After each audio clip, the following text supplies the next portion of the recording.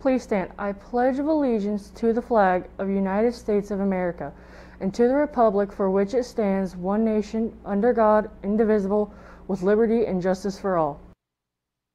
Welcome back, hot dogs. I'm your host, Emily Escarino with Hot Dog Network. Today we are going to be talking about DECA, Student Council, and much more. On to the news. Are you looking for a way to give back and help the community? If so, join Student Council. Students interested in joining Student Council should check their emails for the applications. Applications are due this Wednesday at 3 p.m. Freshmen, if you are in 8th grade band and would like your 8th grade band binder, you can see Mr. Hutton in the band room and pick it up. Bad news, hot dogs. Frankfort DECA cookies have been temporarily suspended due to COVID 19. Meanwhile, DECA seniors are working on a plan to reintroduce DECA cookies to Frankfort students and staff. Any returning DECA members are encouraged to consider applying to be on this year's Frankfort DECA leadership team. Applications will become available Friday and will be due to Mrs. Bishop on August 25th. On to the sports with Violet.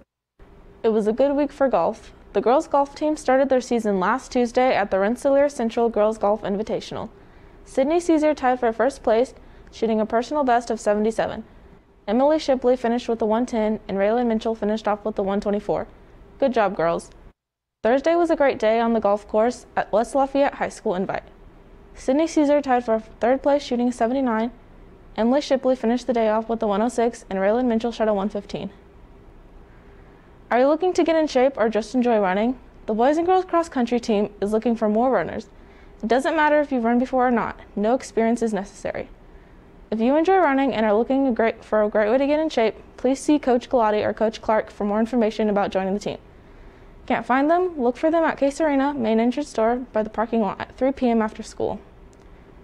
Are you wanting to join the football team or just try something new? Any person interested in joining the football team, you have time until this Friday, August the 14th to join the team.